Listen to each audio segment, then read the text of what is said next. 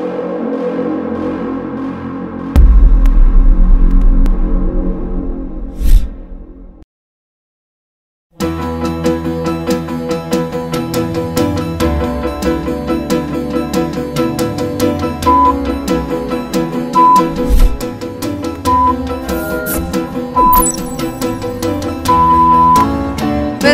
Merhaba, 50. Tü- Cumhurbaşkanlığı Türkiye Bisiklet Turu'nun Fethiye etabında, Fethiye start noktasındayız. Yanımızda dün bizi çok şaşırtan e, Miraç Kal var ve e, Türkiye şampiyonumuz Nazım Bakıcı var. Merhabalar. Merhabalar.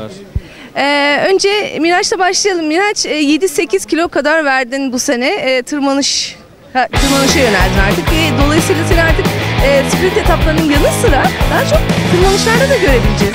Ee, 2012 yılında takımımıza yeni gelen Yürümet Lişenko ve alttan yetişen Ahmet Örken'den sonra onların sprint özellikleri benden daha iyiydi. Ee, takımda olabilmem için benim bu tarz bir e, disiplin olarak değişikliğe gitmem lazımdı. Ee, o zaman 75 kiloydum, şu anda 65 kiloyum. 10 kiloya yakın e, kilo verdim ve daha iyi yokuş performansı elde etmeye başladım.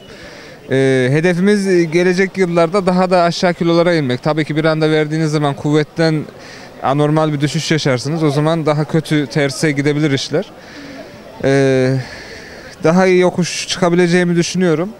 Umarım önümüzdeki yıllarda daha da ön gruplarda olabilmeyi başarabiliriz.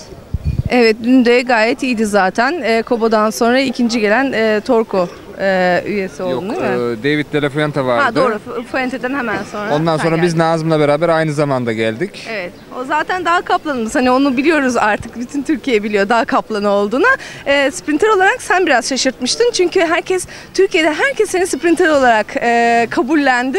Birden e, Elmalı zirvesinde önlerde bitirmek, e, bitirirken görmek çok güzeldi. E, tebrik ederiz. Bugün için plan nedir? E, bugün için e, dün 30 32. olmuşum. E, her yıl Marmaris yokuşunu 30 ile 40 kişi arasında e, çıkan bir grup oluyor. Evet. Eğer o grubun arasında yer alırsak, hani eski sprinter özelliğimizi de gösterebilirsek, e, etapta ilk 5'e, ilk 10'a girebilme şansımızın olduğunu düşünüyorum. E, tabii ki burada e, iyi yokuş çıkan, mesela Andrea Greipel gibi sprinterlerin de gelip gelmemesi söz konusu. Eğer e, onların da olmadığı bir grup oluşturabilip 20-25 kişi önde bir kaçış grubu da olabilir. Onlarla beraber önde gelmeyi başarırsak ilk ona girebileceğimizi düşünüyoruz. Çok teşekkür ederim Miran. Seni e, dinlenmeye alalım. Yarış birazdan başlayacak. teşekkür ederim. Teşekkürler. E, Nazım'la devam ediyoruz. Nazım Dağ Kaplanımız. Bugün nasılsın Nazım? Dünün tabii ki yorgunluğu var. 4000 metre yakın bir yokuş çıktık. İlk defa bu etabı yaptılar. Dün de ilkini biz koştuk. 4000 metre kadar yokuş çıktık. Güzel. Çok aşırı yorgunluk yok. Zaten ondan önceki iki gün dinlen, dinlenmiştim grubun içerisinde. Bugüne hazırız yani.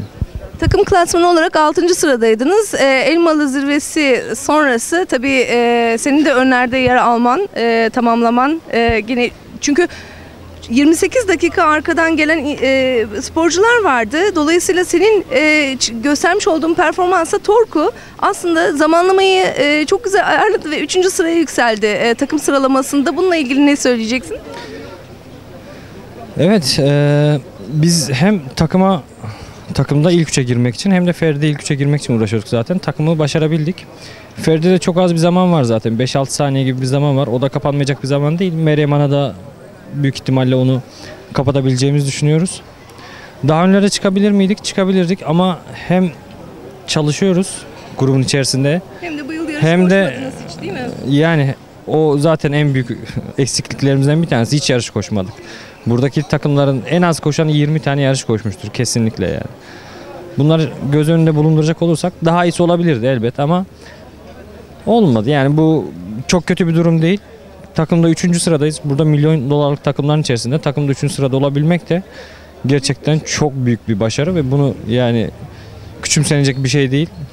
Herkes bunu kabullenmesi lazım artık. Torku'nun ne kadar güçlü olduğunu görmesi lazım.